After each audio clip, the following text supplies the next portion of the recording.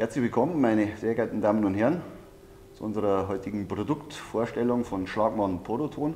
Mein Name ist Alfred Emhe und an meiner Seite steht mein Kollege Markus Eich. Wir wollen Ihnen heute unser neues AirEco Lüftungssystem vorstellen. Ja, Markus, was bewegt eigentlich einen Ziegelhersteller, ein Lüftungssystem zu entwickeln? Ja, auch von meiner Seite ein herzlich willkommen. Ja, Ziegelhersteller und Lüftung passt auf den ersten Blick vielleicht nicht so gut zusammen. Ähm, bei genauerer Betrachtung bietet sich die Kombination sehr wohl an. Dezentrale Lüftungsanlagen werden in der Regel in Außenwänden verbaut. Die klassische Variante, die sich auch bewährt hat, ist, äh, erfolgt dadurch, dass ein Ziegelstein durch den Mauerstein des Lüftungsgeräts ausgetauscht wird. In diesen Mauerstein kann später das Lüftungsgerät eingesetzt werden. Der innere Abschluss erfolgt mit einer Innenblende, der äußere Abschluss durch eine Außenhaube. Okay, der Zusammenhang ist klar. Aber was ist nun das Neue an dem Schlagmann RECO Lüftungssystem? Wir sehen hier unseren Rollladenkasten, ausgestattet mit dem RECO Vorbereitungsset. Das Vorbereitungsset wird werkseitig vormontiert und bedeutet daher einen gewissen Installationsvorteil auf der Baustelle, weil die Lüftung nicht separat montiert werden muss, die ist bereits fertig mit beim Rollladenkasten mit dabei. Die Luftansaugung erfolgt über die Abschlussleiste des Rollladenkastens, hier über, die, über den Umlenkkanal auf die Rauminnenseite. Aus diesem Grund ist keine Außenhaube erforderlich. Man sieht an der Fassade nichts von diesem Lüftungssystem. Okay, Markus, du redest die ganze Zeit jetzt von einem Rollladenkasten. Funktioniert das Ganze auch mit Raffstorkästen? Ja, äh, das System funktioniert genauso beim, beim Raster-Kasten auch, weil wir die, die Luftansaugung und Umlenkung nicht über den Rollraum gewährleisten, sondern innerhalb der Außenblende. Die Luftumlenkung ist in der Außenblende integriert und beeinträchtigt so weder den Rollraum noch den, ähm, den Schacht des Raffstores. Äh, somit ist der spätere Bauherr nicht beeinträchtigt, was die einzelnen Behänge betrifft. Du hast vorher erwähnt, dass diese Ausführung schalltechnische Vorteile hat gegenüber der klassischen Luftführung von einem Durchlass in der Außenwand. Ja. Wo liegt der Vorteil genau? Ich denke, das zeigen wir jetzt am, am, äh, am besten am großen Modell. Da kann man die Luftführung am besten erläutern.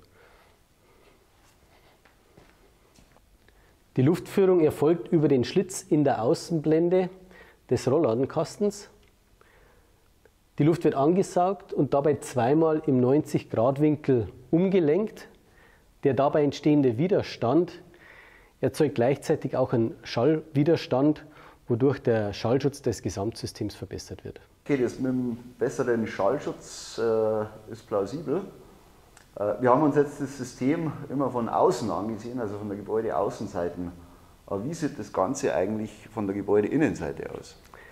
Das, das Einzige, was man von diesem Lüftungssystem sieht, ist im Grunde die Innenblende. Wir bieten verschiedene Innenblenden an.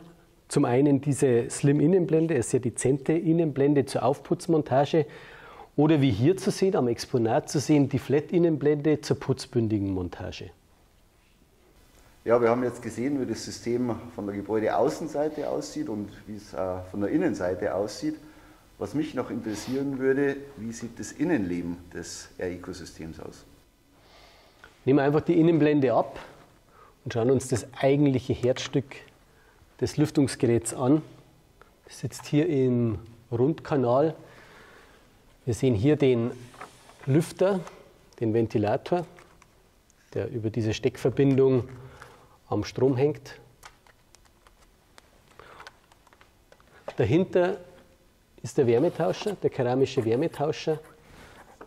Beide Komponenten kann man einfach aus der Öffnung entfernen,